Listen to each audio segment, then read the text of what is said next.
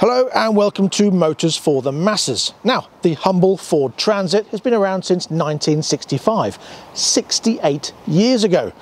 And since then, in the UK alone, they've sold over 8 million of them. So let's roll the intro and get cracking.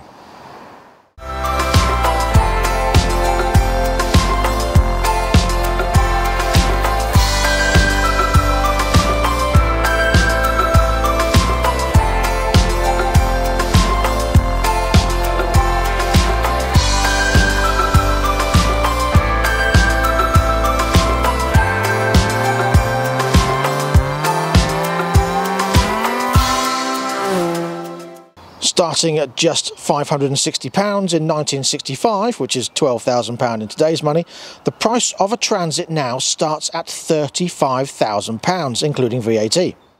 This one is a 2018 Ford Transit Custom RSV Sport.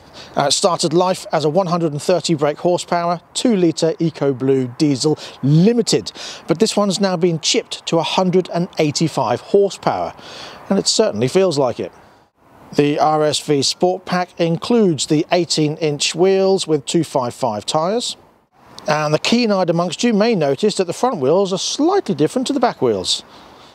And that is because I had a little argument with a curb and the curb won and it scuffed up all the wheels. So you can't buy those wheels again. So I had to buy a set of four, slightly different, and the centre caps don't fit. But now it's got better tyres on. You also get the body kit, which is the side skirts, the deeper front valance, and the rear valance with dual exhausts and roof spoiler. I've added the orange plastic covers on the Ford badge because it came with a Ford grille already and the orange stripes and of course my graphics and also the 1600 pound Thor dual electronic exhaust system and you'll hear that very shortly. Now the Limited usually comes with cloth seats. I have fitted these leatherette seat covers which go on quite nicely. Um, as standard it comes with the digital stereo, touchscreen of course, um, and in this model you get the heated seats, the climate control, uh, DAB radio, and uh, obviously USBs plenty. Um, and you've got bottle holder cup holder, cup holder, bottle holder, bottle holder, and another one in here. You get a USB and 12 volt on the dash, storage on the front on the passenger side, 12 volt and USB on the front, parking sensors, aircon, and dust. A dust, a little bit of dust. And quite a small glove box to be honest, um, big enough to hold the manual, some baby wipes and headache tablets. Every essential needed for van driving. You also get cruise control and the multifunction steering wheel when you can control everything you need for the stereo, the uh, onboard computer and the um, cruise control itself. And sat nav using the Sync 3 system that Ford now uses. Um, quite good to use. Um, the sat nav is quite simple. It's not brilliant, um, but it's certainly not the worst I've used um, because the engine's not on. It takes a bit longer to uh, turn on because it comes on instantly when you start the van. Yes okay. Changing language to English. Well it always was English. Sometimes it gets a bit uh, tetchy. Don't know why. Loading map. Wow it is a bit slow isn't it Talk amongst yourselves. Hello? Brilliant. Look at that, look. Oh, it's waking up. Like I say, it's instant when you start the van. In fact, I'm going to um, do that now. Um, I'm going to turn it off and start it up and then you can see how instantly it comes on. Um, and um, you can also hear what it sounds like right now, which is pretty good from the inside. So keys in the ignition, and here we go, look.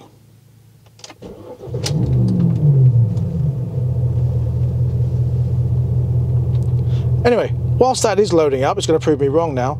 Um, I do want to mention one thing I really don't like about this van, and that is that you get a heated windscreen, heated mirrors. However, this quarter window isn't heated in any way and doesn't demist. So whereas that demists and gets rid of ice very quickly, as does the mirrors, this doesn't. Especially when it rains as well, it's the same. So you have to get out and physically wipe it. With the window itself, you can put it down manually, obviously, or automatically with the button. But with this quarter window, it doesn't.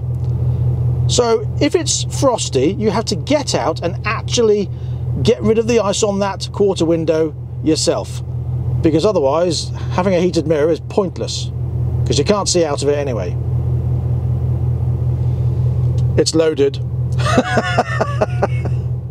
you also get other features such as electric mirrors, obviously electric windows, um, automatic lights, automatic windscreen wipers, all that kind of stuff. So let's have a look in the back.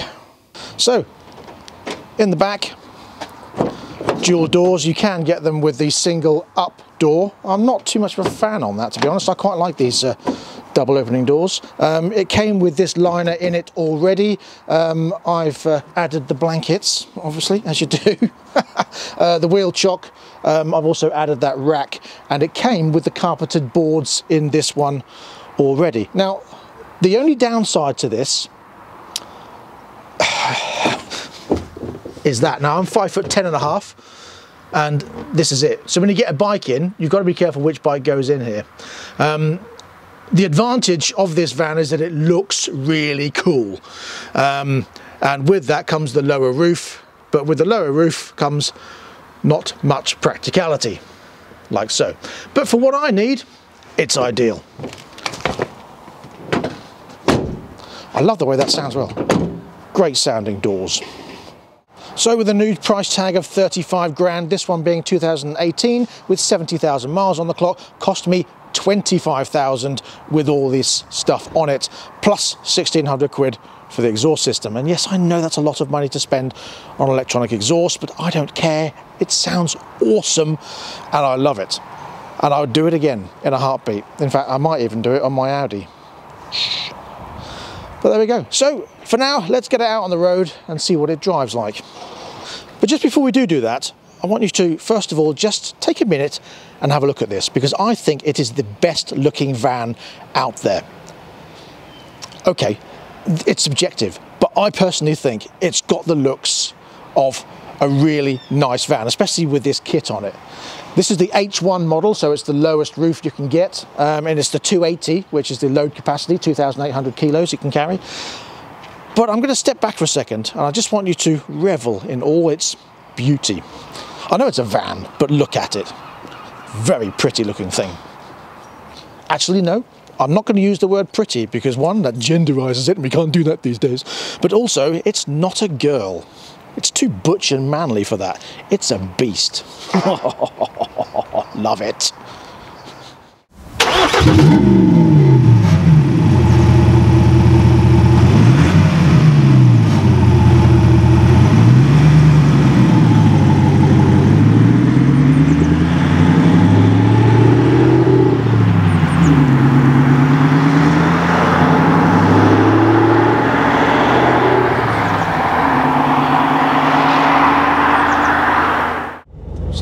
First thing to notice about the van is it doesn't feel like a van.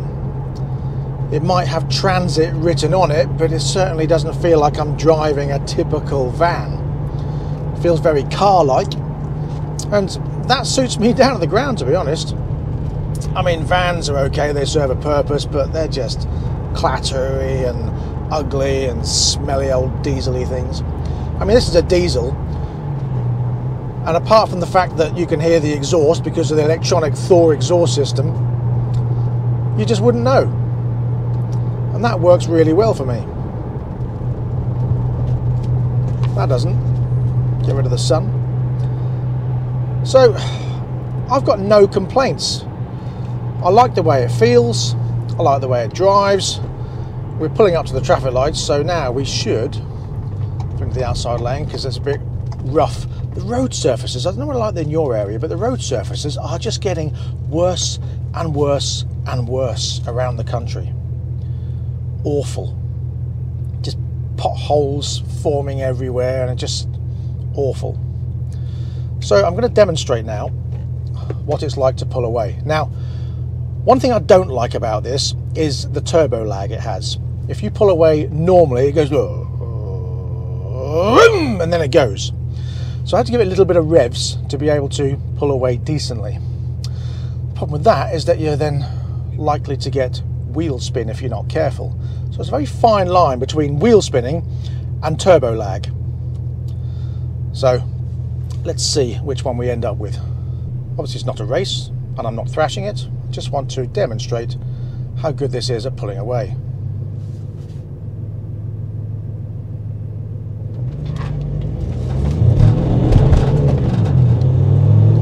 So you can see, 40, pretty good. No complaints.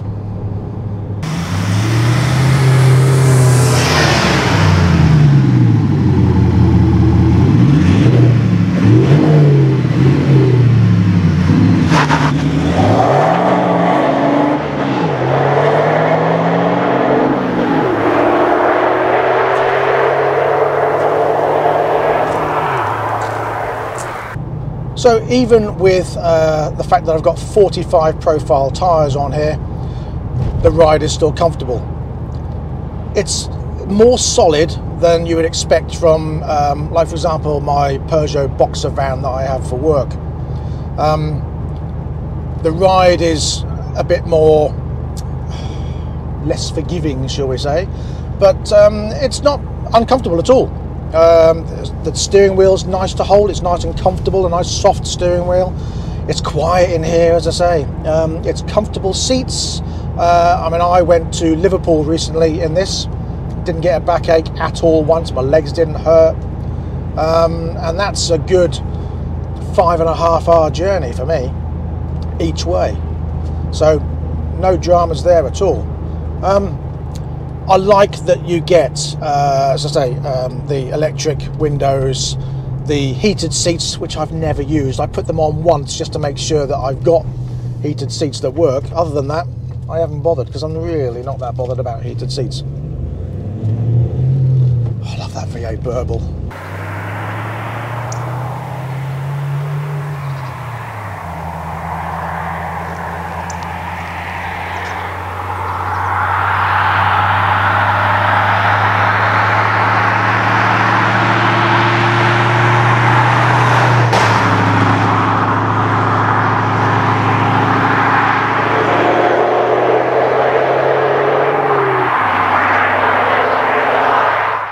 It's not a V8, but I get asked all the time.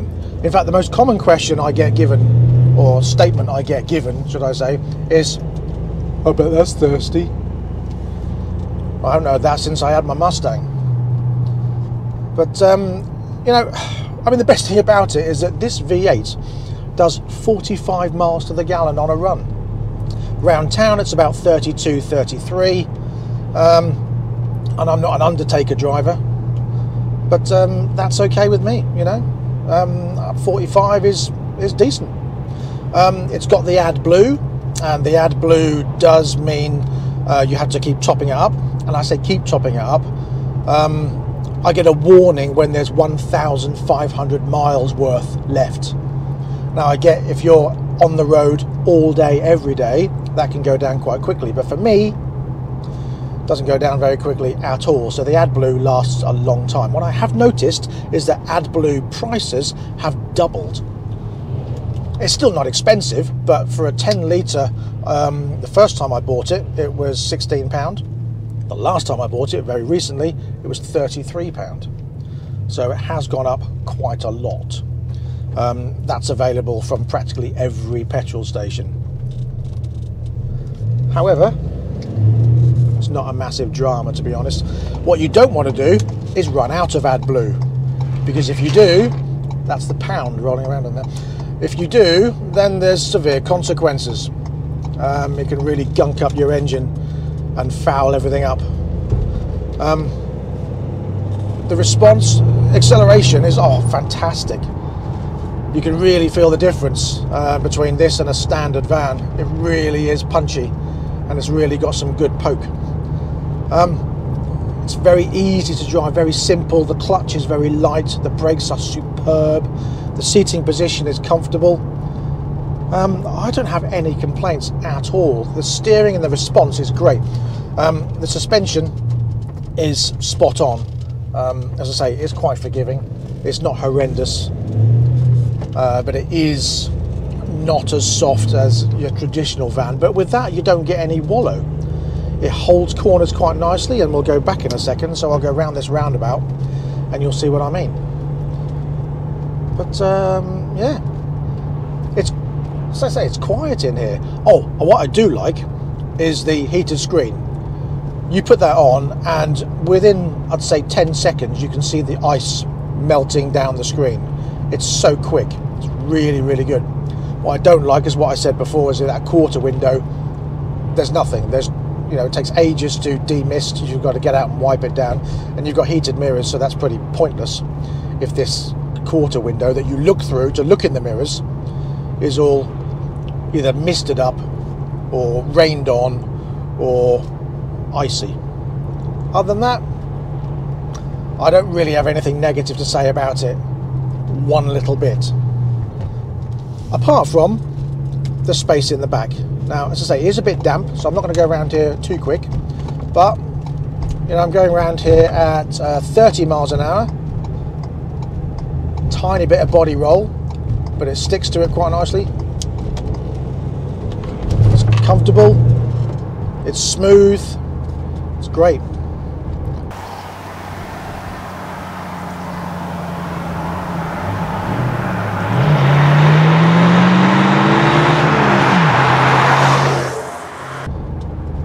Now, when I used to have my Ford Ranger, um, I loved that. That was a lot more forgiving, uh, obviously because it's got big balloon tyres on it and that was such fun and it looked awesome. But this is just so much more practical. I like the three seat arrangement. I usually have a child seat on here for my little boy. Um, everything is easy and modern. You know, you've got your DAB touchscreen radio, uh, the air conditioning if you want it.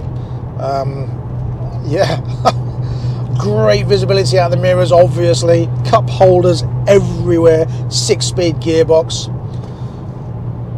I recommend a van. Now, obviously, you can get these in different guises. Um, the double cab ones you can get with um, a little bit of load space in the back. Um, you can get the bigger ones, the high top ones. I would like a high top one for practicality, but it certainly wouldn't look anywhere near as good as this one does, in my opinion, obviously. So let me know if you've got a van. Let me know what you've got. If you've got one of these, let me know what you think of it. Because I'm I'm so pleased with it. I love this van. I don't think I'd love it if it didn't look this good and it didn't sound like this. Because it's a van. And let's be honest, the reason why we have vans is for them to be practical, not to pose about in. But I am a bit of a tart, and I'm well aware of that. And I love it. Which is why everything I own, I do something too. Now, for those of you that um, are going to write in the comments, and I'm sure there'll be one or two um, at least, it was just a van. Why are you bothering? Why waste time? Why waste money? Why you just? It's just a van. If you want to use it for work, just use a Renault Trafic because it's much cheaper. Blah blah blah blah blah blah. No, that's not me. And if you've been watching this channel for a while, you'll know it's not me. I like doing things to it. I like individuality. I love that it looks cool. I love that it sounds like it does. So there, you know. Um, I have driven many vans. Uh, Renault Trafic, similar to this one, similar age. Nowhere near as much space inside. I found. Um, little less space in the back as well, and it's lower. Um, I think the same applies for the Vauxhall Vivaro because obviously you've got the low bit and then it sort of bulges up in that ugly way over the door. Looks weird. Looks like someone sat on the roof. A giant person sat on the roof. Um, other than that, um, you're then into your bigger, just more practical, everyday, mundane vans that you use for moving stuff. Um, the only thing I move in this is uh, the odd bike every now and then But if I need to move a bike, I can. Whereas in the Ranger, I just couldn't do it at all. If it wasn't for the exhaust, this would be unbelievably quiet. For a diesel, very quiet.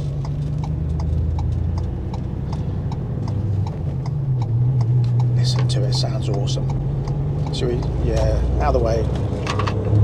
Too slow.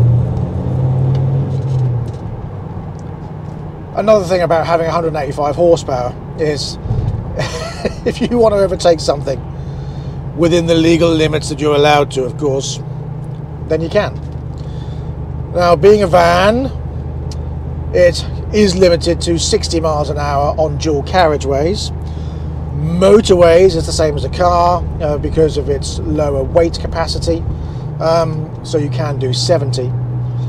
Um, I've sat uh, on a motorway very recently. As I say, I was coming back um, from Liverpool. Um, the nearest motorway to us, where we are, is 100 miles away. Um, so I've sat on um, the motorway at a steady 68 miles an hour on the cruise control, and I was doing 46 miles to the gallon. Pretty impressive. So there you go. That's my 2018 Ford Transit Custom RSV Sport. Let's finish off, shall we? Now, of course, being 2023, they are going to be bringing out the e-transit very soon. Um, now, my previous video moaning about um, electric vehicles um, sort of applies doubly for commercial vehicles. Because the e-transit has a range, the base one has a range of 171 miles. That's it. Now, if you're delivering stuff in a transit, 171 miles is not a lot. I mean, if you're the local gardener and you've only got to go 20 miles to a job or, you know, a build or something like that, then it might work better for you. But it's £48,000, including VAT. And that's a lot of money. Now, there is a 2.5 um, hybrid version, which might be a better option because you've still got the fuel combustion engine um, and then some electricness also, but there's only about 30 miles worth of electricness in it. So it's sort of okay, and it's still more expensive than the petrol, or sorry, diesel equivalent. Um, diesel is very green these days, um, not like it used to be with the black, chuggy, smoky stuff, um, especially with this AdBlue system.